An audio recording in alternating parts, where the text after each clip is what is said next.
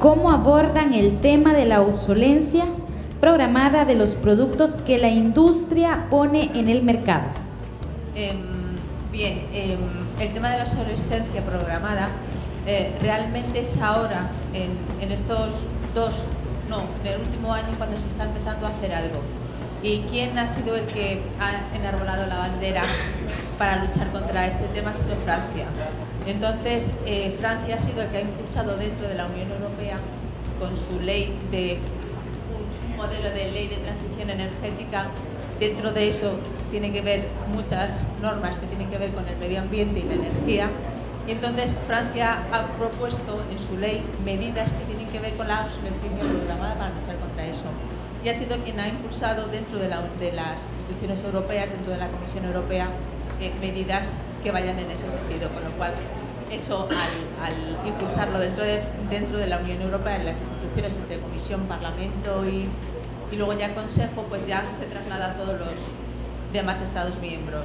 ¿Hacia dónde? ¿Qué se está haciendo? Pues entre otras cosas, Francia, por ejemplo, quería obligar a los fabricantes a alargar la vida útil de los productos.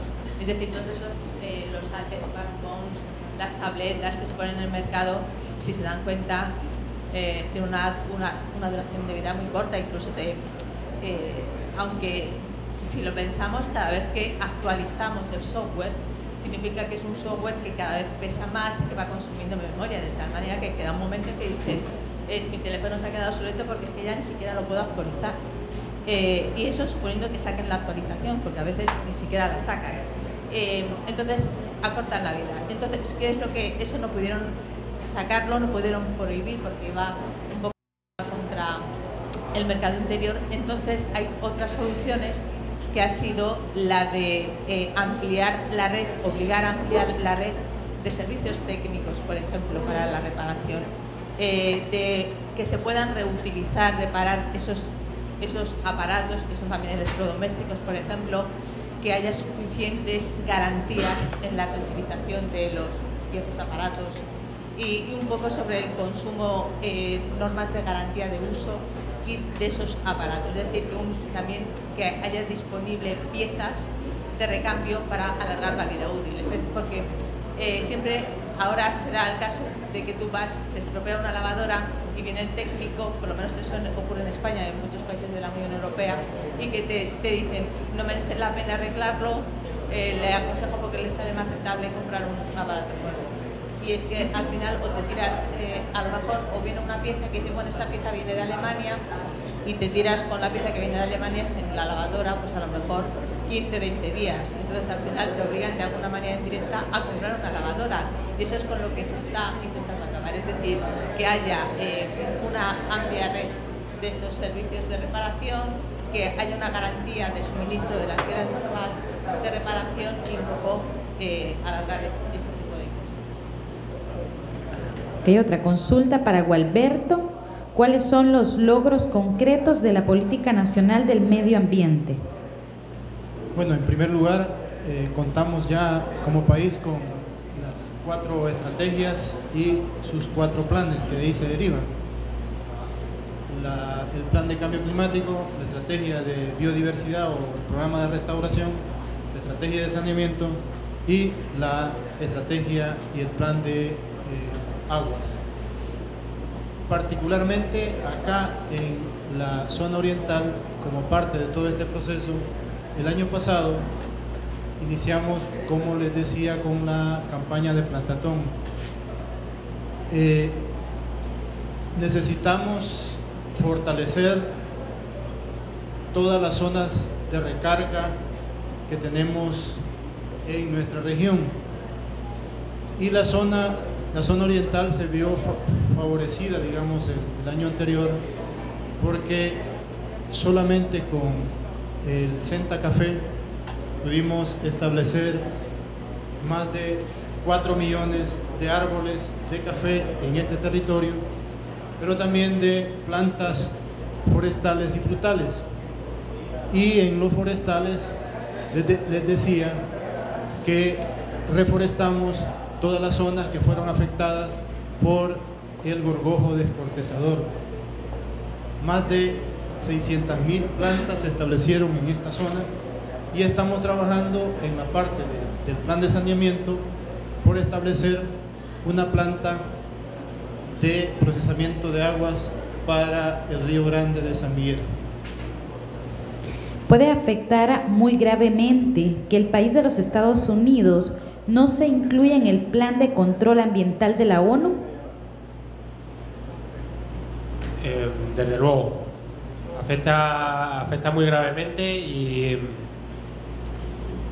y realmente se, se está trabajando eh, en iniciativas por parte de, administraciones locales eh, que, que, no comparten esa visión desde el gobierno central de Estados Unidos, por parte de, empresas privadas y por parte de, los propios ciudadanos eh, estadounidenses, eh, se están movilizando para, para realmente trabajar en favor del, cambio climático.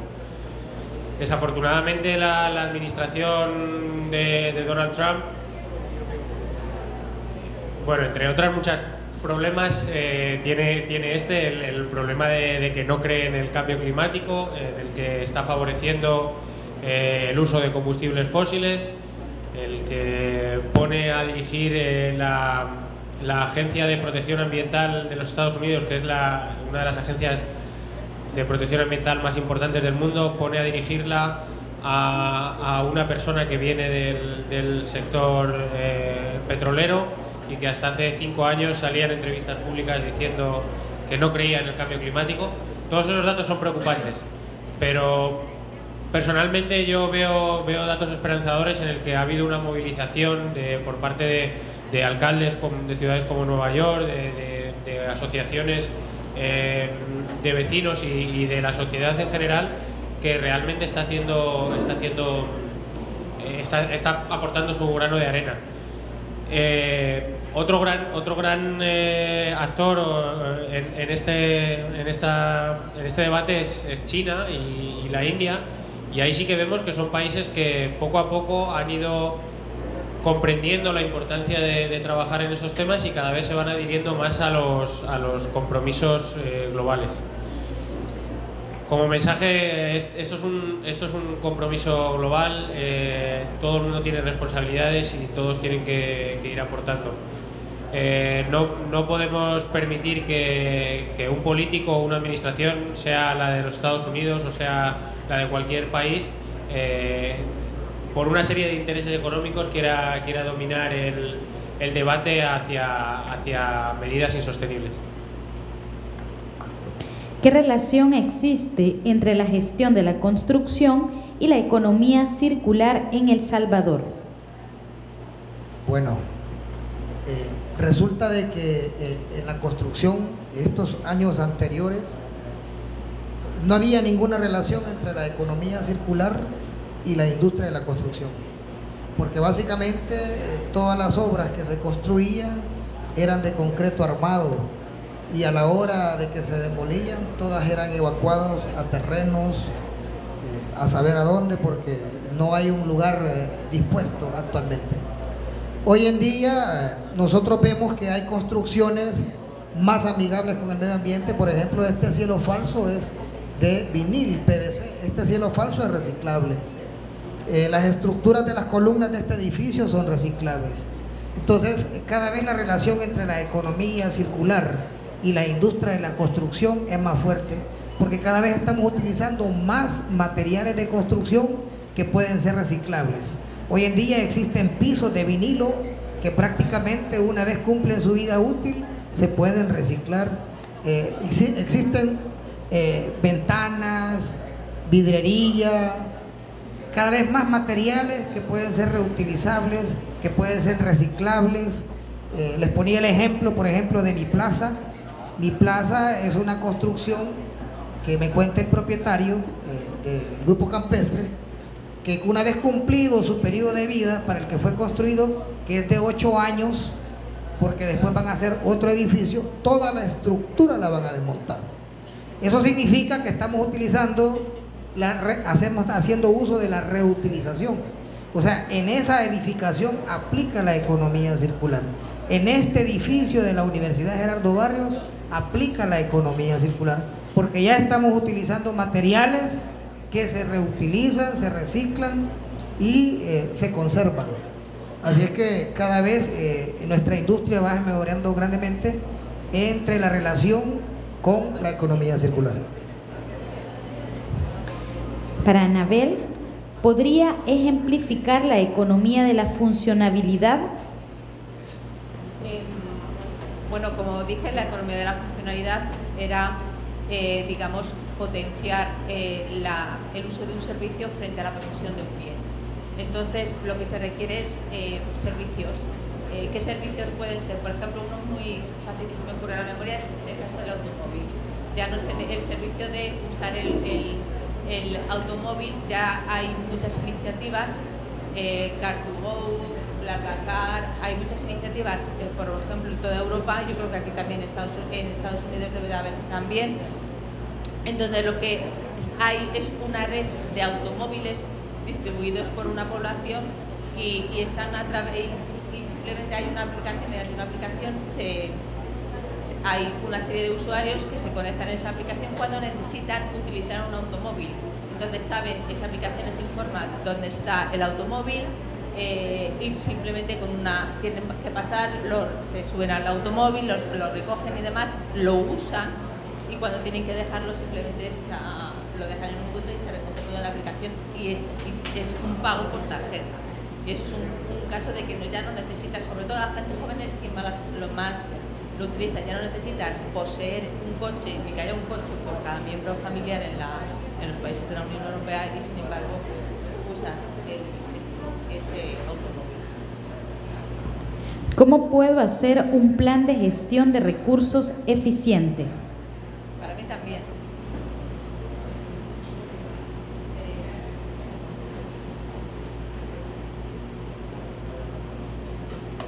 Eh, bueno, un plan de, gestión de recursos que sea eficiente, primeramente tiene que comenzar este, desde la implementación de una política ambiental, eh, las empresas y desde la gerencia general o desde los fundadores, eh, ellos tienen que implementar políticas para desarrollar planes y de que de estos planes surjan proyectos específicos para, para problemas específicos, para gestionar de forma eficiente todos los residuos que genera la, la industria. Eh, realmente eh, como ejemplo de lo que nosotros estamos haciendo también, eh, como parte de lo que explicaba Anabel de la simbiosis en la industria, es que todos esos residuos orgánicos que se generan en nuestras industrias sean materia prima para, la, para, la, para los siguientes procesos que nosotros tenemos. Entonces, un plan eficiente de gestión ambiental tiene que comenzar por eso, desde la implementación de políticas ambientales que garanticen que todas las medidas y que todas las actividades que se vayan a generar en la industria sean realmente sostenibles y eficientes. Eh, eh, muy, muy importante lo, que ha dicho, que se tiene que, apoyar en, políticas y, también muy importante, eh, lo primero de todo, para poder tener una, una, eficiencia en tus recursos es comprender toda tu, tu cadena de valor.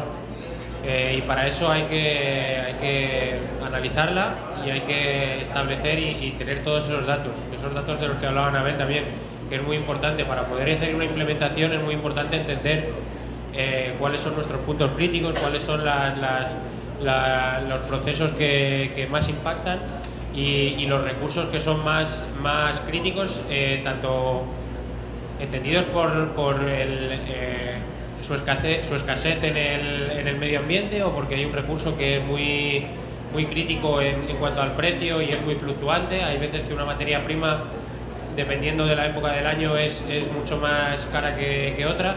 Todo ese tipo de, de, aspectos hay que tenerlos bien claros, hay que, hay que analizarlos, hay que hacer una evaluación eh, muy, muy potente al, al principio de, de este ejercicio y una vez que se tiene claro cuáles son los, puntos críticos, ahí ya sí que se puede empezar a, plantear eh, un, plan de acción con, medidas concretas para, una, para una gestión más eficiente. Sí, quería agregar en este punto de que eh, hoy en día hay muchísimas empresas que están comandadas por personas jóvenes. Y resulta de que el joven es más abierto a nuevas tecnologías Entonces, eh, el ejemplo que nosotros tenemos es del grupo campestre. Sergio no excede de 42 años. Entonces, sin embargo, hay otras empresas aquí en nuestro San Miguel que eh, quizás son baby boomer o un poquito más de baby boomer, eh, que los, los empresarios, los dueños se resisten a modificar y a tecnologizarse. Y un ejemplo de eso es el Hotel Trópico Inn.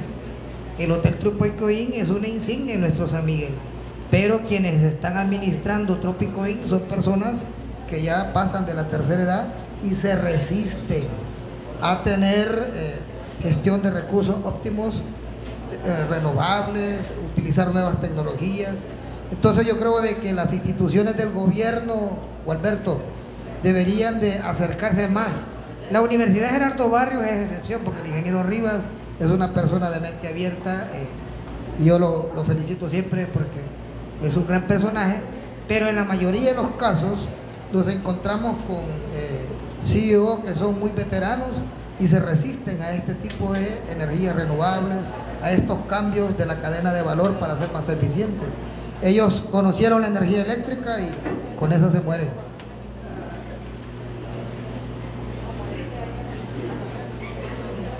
Bueno, la última pregunta para Johnny Portillo. ¿Las plantas y los alcantarillados funcionan por medio de gravedad o no necesitan energía eléctrica? Si se puede explicar esa parte. Este, sí, eh, la planta, todo el sistema diseñado en Jucuarán, toda la recolectora funciona por gravedad. Este, inclusive la planta de tratamiento, podríamos decir que el 90% funciona por gravedad. Solo hay una bomba que es para el sistema de recirculación, pero esta se va a utilizar si en un dado caso el agua no está saliendo como debe salir, ¿verdad? O sea, cumpliendo con los niveles. Entonces ahí se manda una recirculación, pero eso solamente sería en caso necesario. Eh, pero mayormente está funcionando por gravedad. Así fue el diseñado este, y con el objetivo ¿verdad? de generar este, mayores beneficios económicos también, o sea, no, no consumir tanta energía eléctrica. Bueno, les brindamos un fuerte aplauso a todos nuestros ponentes.